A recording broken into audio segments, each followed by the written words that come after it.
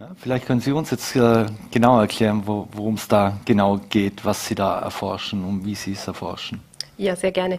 Also wir arbeiten jetzt äh, vor allem mit Zell, äh, mit Krebszellen oder Zellkulturen, Krebszelllinien. Das bedeutet, dass das ähm, dass, dass diese Krebszellen wurden irgendwann einmal vor Jahrzehnten isoliert aus einem Patienten. Die wurden ganz genau analysiert und beschrieben. Und das kann man sich so vorstellen, die kann man sogar käuflich erwerben. Also da gibt es so quasi Zellbanken und da kann man sich eine ganz genau definierte, beschriebene Krebszelllinie kaufen. Und wir haben einige solche Krebszelllinien bei uns. Äh, wir arbeiten derzeit in dem Projekt vor allem mit äh, Magenkrebszellen und Dickdarmkrebszellen.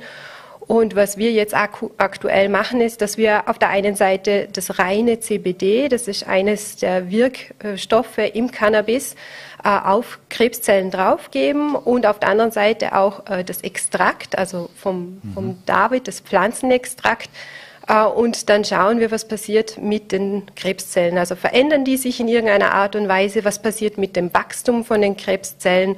Und das versuchen wir eben zu analysieren und festzuhalten. Mhm. Neben diesen gekauften Krebszellen ähm, haben wir auch noch eigene äh, Zellen, die wir selbst gezüchtet haben. Und das sind ähm, Zellen, die sind resistent. Also wir nennen sie resistente Krebszellen. Das heißt, ähm, die reagieren nicht mehr auf eine Chemotherapie. Also wenn man da Chemotherapeutika drauf gibt, können die trotzdem wachsen.